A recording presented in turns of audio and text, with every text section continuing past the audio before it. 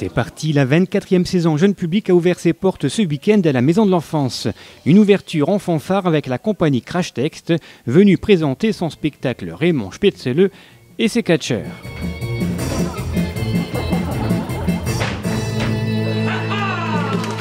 Un spectacle décapant, osé, drôle, surprenant, basé sur l'improvisation théâtrale.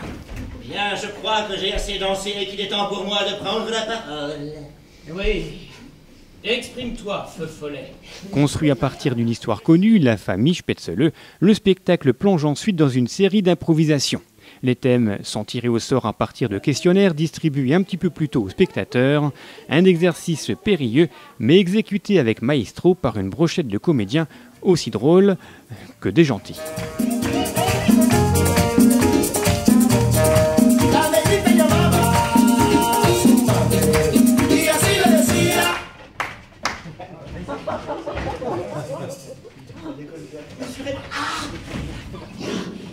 Tu veux faire rigolo? Eh ben, il fallait pas me les proposer. Tu veux faire rigolo, on va enchaîner. D'accord, très bien. Ton merengue, je t'ai dit, c'est pour ton club de dimanche. Tu vas nous faire, allez, un ton pour enfants.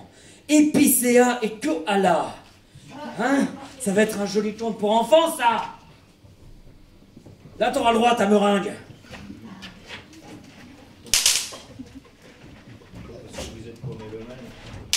Décor soigné, costumes ridicules, la barrière entre théâtre burlesque et théâtre classique se franchit sans prévenir. Jouer du Shakespeare en caleçon orange moulant est osé.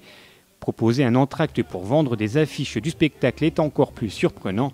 Un décalage et un mélange de genres qui fait pourtant la réussite du spectacle, délirant toujours, provoquant parfois, mais pas bête du tout.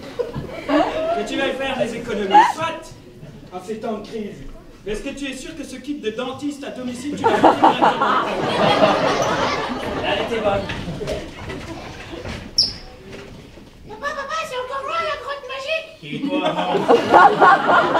Derrière ce faux air de spectacle désordonné se cache donc une véritable recherche théâtrale, un sens de l'impro évident, un spectacle abouti à prendre au deuxième, voire au 36e degré, un spectacle qui a ravi les 200 spectateurs venus assister à cette ouverture de saison.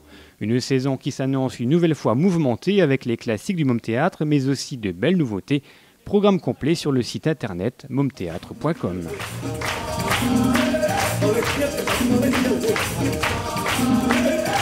you.